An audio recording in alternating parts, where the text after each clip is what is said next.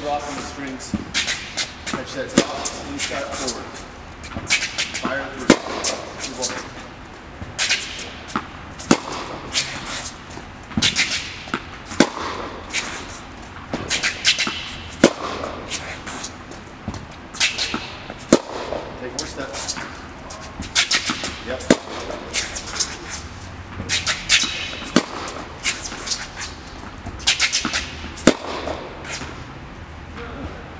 See even on the last ball, which is a little shorter?